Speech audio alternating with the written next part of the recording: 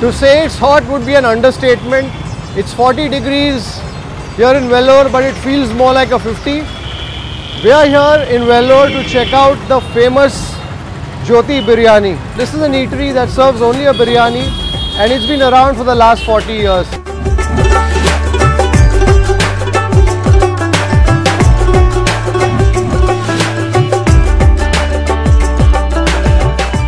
So I'm here in the upstairs area of Jothie Biryani restaurant because that's where the kitchen is located. So we're going to take a look at how the biryani is made here. So we are here in the kitchen of Jothie restaurant and you can see the degs firing away. This is Raju Varman, who's the owner of Jothie Biryani Hotel along with his father. So what is special about Jothie Biryani? The one of the oldest shop in Vellore right now. Okay. 37 years old. 37 years old. And uh, we'll still use the traditional method of cooking. So as you can see all the biryani is being cooked only on firewood, more specifically tamarind wood. Yes. Any other wood would burn down to ash, but tamarind wood would burn down to charcoal, to pieces of live charcoal that they then use to cover the biryani for the final process of dum. And uh, I'm also told that out here there is only biryani, that is your main Yeah, dish. Only biryani. Only biryani. Two types of biryani. chicken and mutton biryani. So they are specialists in biryani. They don't do anything else. They don't have 25 dishes. They do the biryani and they do it well, I suppose. So that is a rice water, is it? Plain water. So rice will go into that. And this is the mutton and chicken. And this is what is served, the accompaniment with the biryani. This is the enne is Simply translated, a brinjal in oil. So there's some tamarind water that's gone into the enne katrikai. That's the last finishing process. So you'll have that slight tart.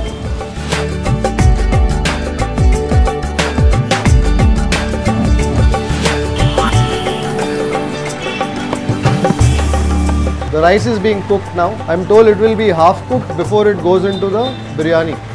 So you've got all the, the stock, the liquid that's floating on the top, that's removed kept aside and then when the rice is added to the meat the stock the liquid or the meat liquor is added back sprinkled on top of the rice to give it that flavor.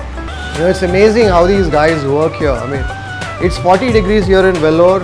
On the street it feels like it's 50 and here it feels like it's 75 and these guys are working for hours to cook that delicious biryani fantastic so they're straining the rice using this wicker basket. So the rice is half cooked and it's finding its way into the meat. So there you go, the rice is going, is being layered on top of the meat. Incredible. It's really incredible to see how these guys cook the biryani.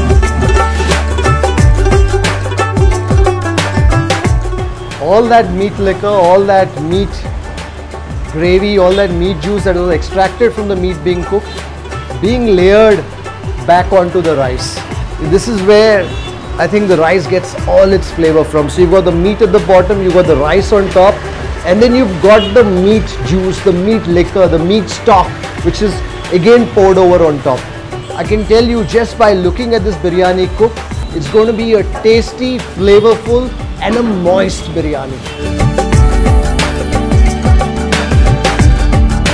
He's mixing only the rice on the top, so the meat remains untouched at the bottom but he's mixing the rice into all that meat gravy, that meat juice, that meat stock that was just poured on top.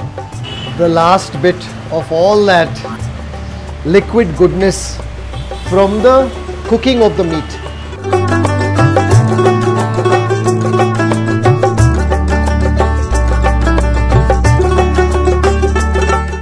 It's almost cooked, it's maybe about 3-4 cooked and now it will be cooked gently on dum.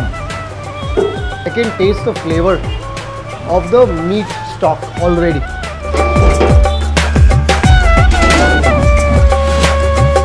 And now you have the tamarind wood charcoal that's going to go on top for the dum. There's already some charcoal at the bottom, you have some charcoal at the top. He's just stoking the embers, just kind of spreading it evenly under the deg just to make sure that you have this uniform heat all around the deg. So the biryani is going to cook now on dum for the next 20 minutes. I can't wait to taste this biryani.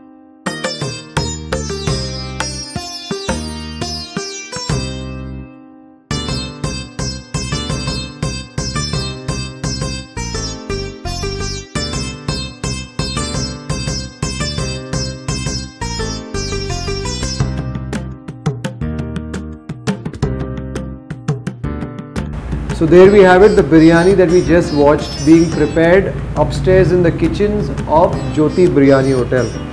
So I've got two biryanis here. You know what I like here is the simplicity with which they do things. Right from the cooking to the manner in which they serve. So you've got the chicken biryani that is served in a banana leaf. You've got some of the enne katrikai that is the literal translation is oil and eggplant. You've got some onion salad. Similarly, you have the mutton biryani, which is served on the banana leaf. You have the eggplant and you have the onions. And there are no side dishes, barring one or two. So this is what they call a chicken varuval, a side dish.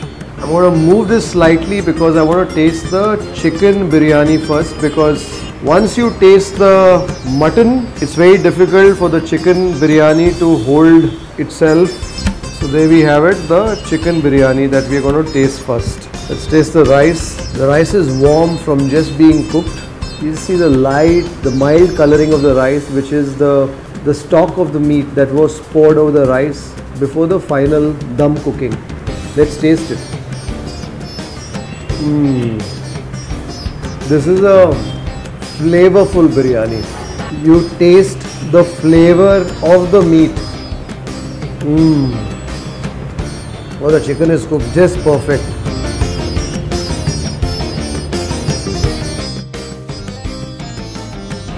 Delicious. But if you were to ask me personally, the flavor of this biryani is not in the chicken but in the rice that carries the chicken pieces. Mm.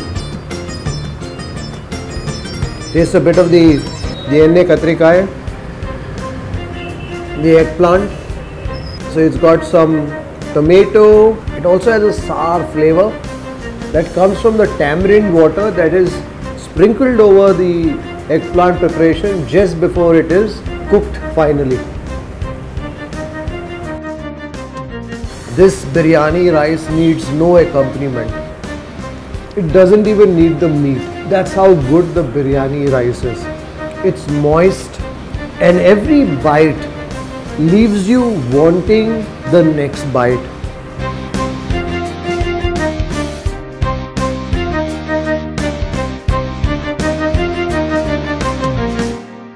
I'm going to taste some of the the chicken varuval. Mm, it's a nice appetizing sort of a preparation. You have the flavor from the onion, the tomato, also some curry leaf which is of course an integral part of every dish here. They also have the skin on the chicken so that gives it that flavor burst. But if you ask me, I think come here and taste that chicken biryani. It is truly, truly delicious. Enough said about the chicken. Let's move on to the mutton biryani. So you've got these three or four pieces of meat and you also have a bit of the meat on the bone and what looks like the marrow inside the bone. I am drooling in anticipation of what the mutton biryani rice will taste like.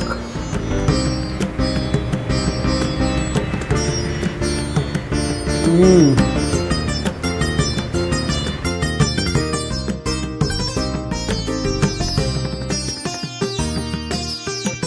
The meat makes its presence felt even without the meat being in your mouth. You know, that's the way that they cook the biryani here. I think the final addition, the final ladling of all that meat stock, of all that meat juice, of all that meat gravy, the meat liquor on the rice before the biryani is cooked on its final dum. I think that makes that huge difference and makes the biryani rice here a flavor bomb. Oh, this is just delicious.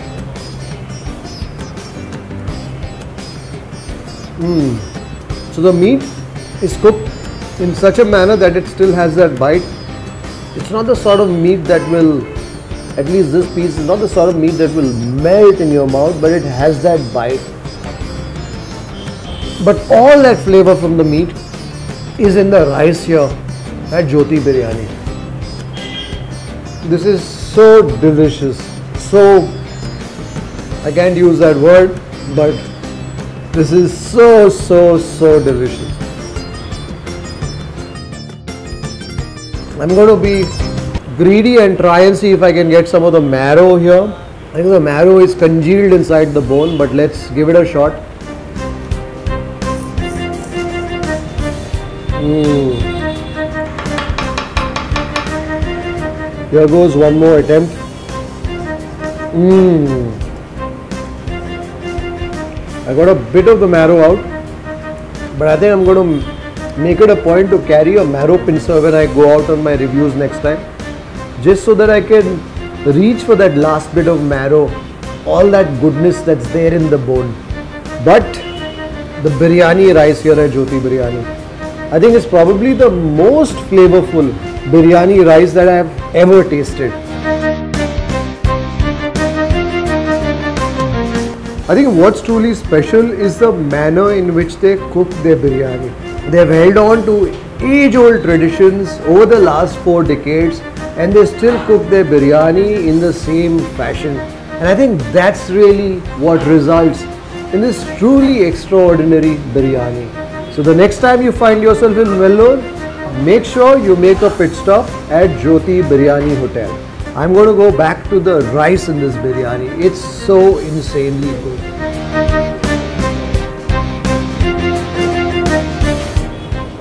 If you enjoyed this video, don't forget to share and leave a comment. Do subscribe and stay tuned to Food Lovers TV for more episodes from Gourmet on the Road. Happy eating!